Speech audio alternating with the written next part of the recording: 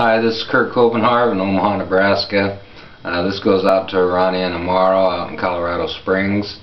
I met them uh, September 28th at the Black Crowes concert and uh, my brother enjoyed the evening and uh, he said, well, why don't you write a song about it?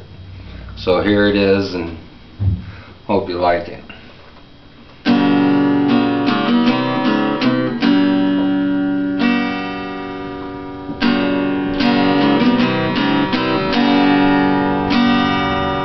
I saw you there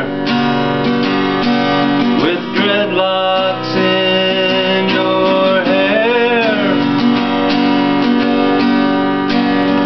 You looked so fine, thought I'd blow my mind. You turned and said,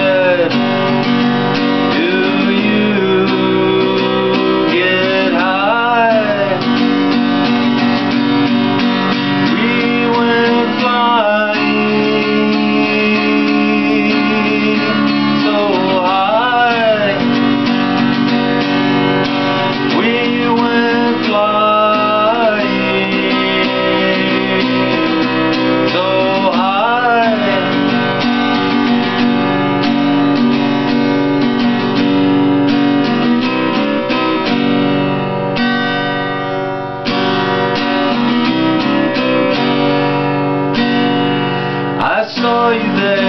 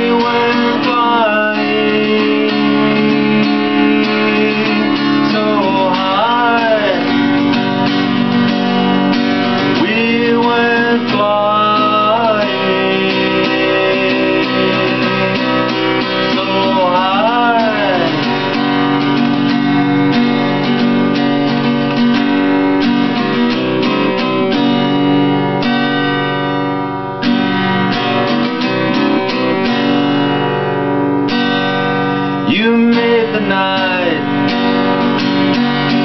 Take over.